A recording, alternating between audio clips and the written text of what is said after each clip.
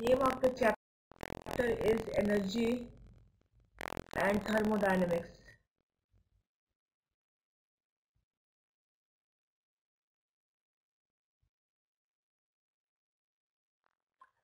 It is that branch of chemistry which deals with the study of various energy transformations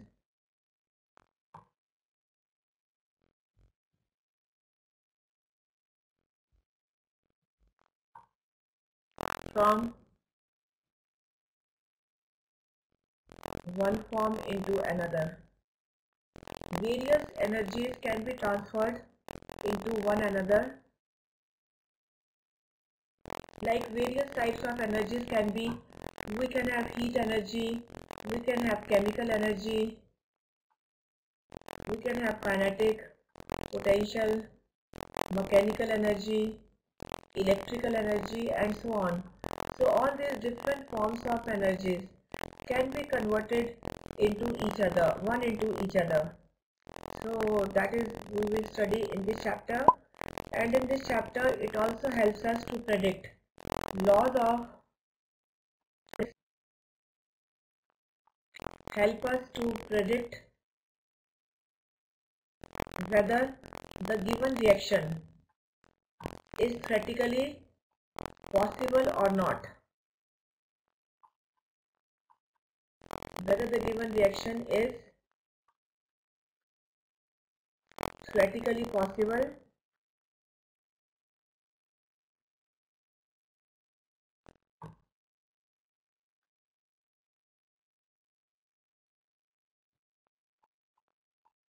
or not under the given set of conditions.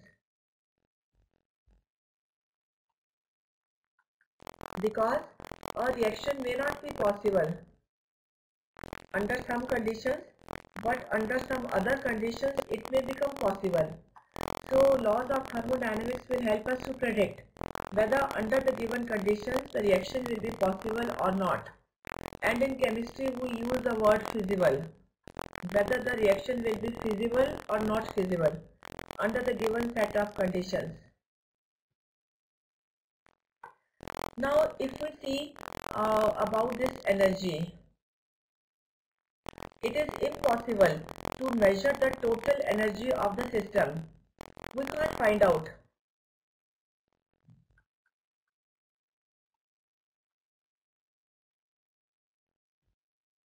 But we can find out the change in the energy. So we can't find out the to measure the total energy of a system. But energy changes can be found. We can find the energy changes. So energy changes are amount of heat transfer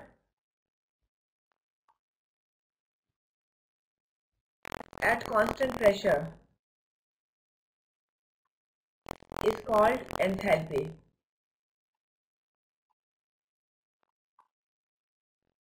It is called enthalpy and it is denoted as H. So we can find out the change. That means delta H we can find out.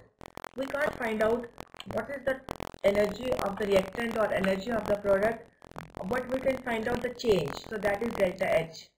So delta H will be enthalpy of products minus enthalpy of reactants. This we can find out. Delta H. So this is also the amount of heat transfer at constant pressure. So suppose if you have an exo name of the chapter heat energy is given out. Heat energy is released. It is given out. So if it is given out, then enthalpy of it is given to the surroundings. Name of the chapter sign. So in all those reactions in which delta H is negative, that means reaction will be exothermic and delta H is a state function. State function means all those properties which do not depend on the path. So it is a state function and is independent of path taken.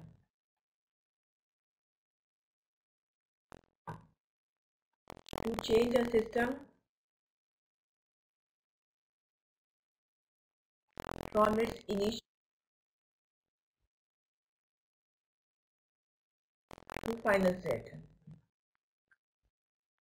So delta H will not depend upon the path taken, whatever may be the path. It will just be dependent upon what is the initial state and what is the final and we can find out delta H. That means delta H we can find out. So it is not depending upon the path taken. And if you have endothermic reaction, then enthalpy, this is those reactions in which heat energy is absorbed heat energy is absorbed. So enthalpy of products will be more than enthalpy of reactants. Delta H is always HP minus HR. So when enthalpy of products is more, delta H will be positive. In all endothermic reactions, delta H will be positive. Like if you take this reaction N2 plus O2 giving NO this is endothermic reaction. Melting of a solid is endo. Evaporation is endo. So all these are endo. But if you take all combustion reactions, they will be exothermic reaction. Carbon plus O2 giving carbon dioxide. It is exothermic reaction. Exothermic. So there is no exception. All the combustion reactions will be exothermic reactions.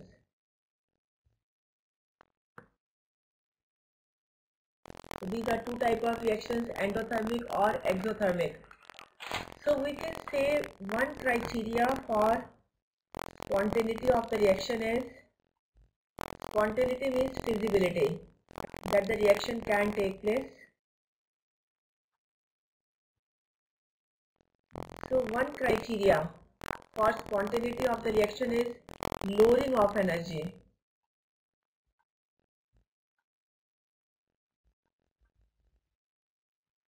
Because whenever lowering of energy is taking place, that means more of stability. Any system having less energy is more stable. The lowering of energy is associated with more of stability. But if lowering of energy was the only criteria, then no endothermic reaction would have taken place.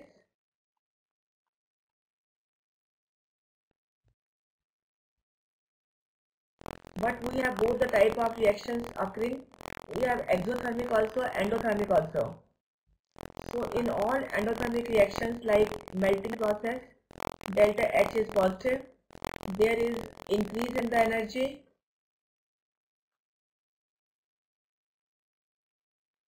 liquid going into gas this is endo sublimation is endo so thermodynamically all these reactions are not favored because in all these physical changes increase in energy is there. We have increase in the amount of energy is taking place so that thermodynamically they are getting unstable. But still these reactions will take place. So what does it show? It shows that there must be some second factor which is which is responsible for the spontaneity of the reaction and that second factor is called entropy factor. So entropy factor means entropy is the measure of randomness or it is also measure of disorder of a reaction.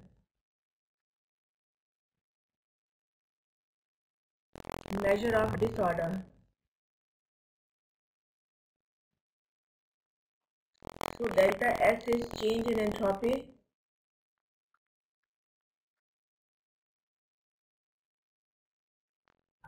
So if delta S is positive, that means entropy increases. Randomness increases. If delta S is negative, that means entropy decreases. So all those reactions which are not favored by energy, they are favored by entropy. And that factor which takes both these into account, both these into account, energy as well as entropy, that is called Gibbs free energy factor. So delta G equal to delta H minus T delta S.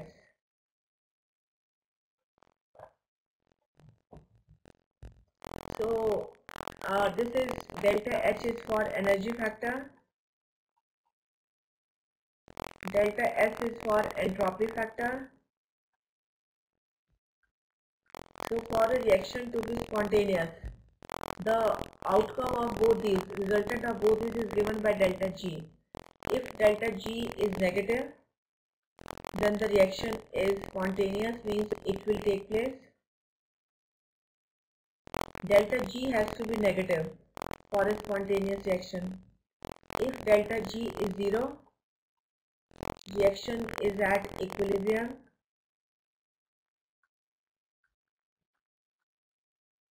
and if delta G is positive, then the reaction is cannot take place. Reaction cannot occur. So that means we have to just find out the value of delta G that will take into account both the energy factor as well as entropy factor. For example, if I give you a question that melting of ice at 268 Kelvin, you have to just put the signs for delta G. Less than 0, 0 or greater than 0 melting of ice at 273 Kelvin, melting of ice at 278 Kelvin. So 268 Kelvin is nothing but it is minus 5 degree C.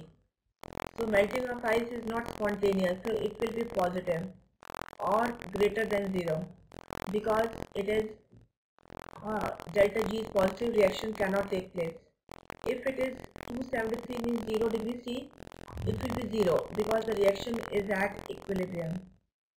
Both the melting and the freezing will take place at a constant temperature and pressure. So that will become the reversible reaction.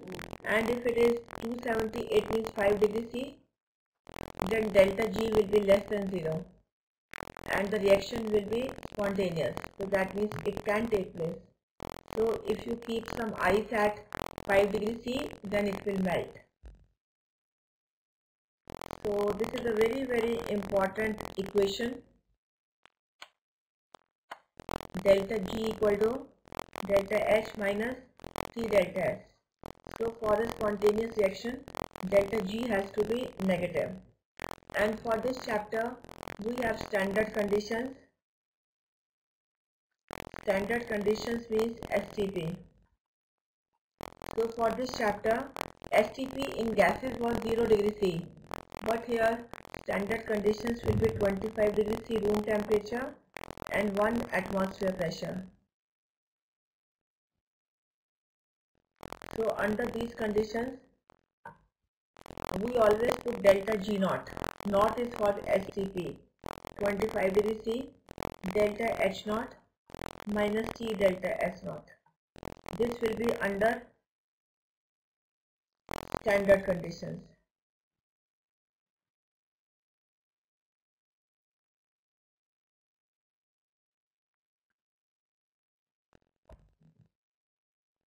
And we can also see the effect of temperature on this.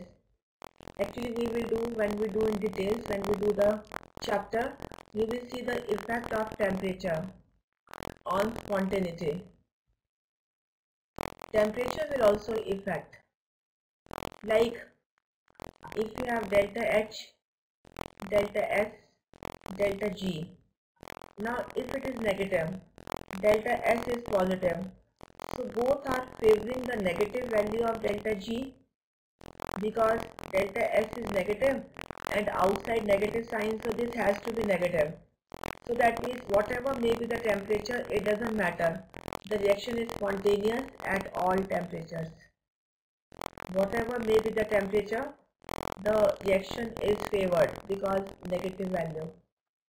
But here we can just see one more case. If it is negative exothermic reaction, delta S is also negative. So that means entropy doesn't favor. Then still delta G can be negative provided T delta S is smaller than this. Magnitude of this is smaller than this. So that means T will be smaller than delta H by delta S. So if the reaction is exo, but entropy doesn't favor, reaction will be spontaneous at low temperatures only. Which temperature? For that temperature for which T delta S is smaller than this. So in this way, if the reaction is endo, then also you can find out. So you will be, you just try to find out if it is positive. If it is positive, then what happens? And if delta H is positive and delta S is negative, then what, what happens? So these were the simple basics of uh, energy and thermodynamics. Thermodynamics is also called energetics or thermochemistry. So alright, okay then.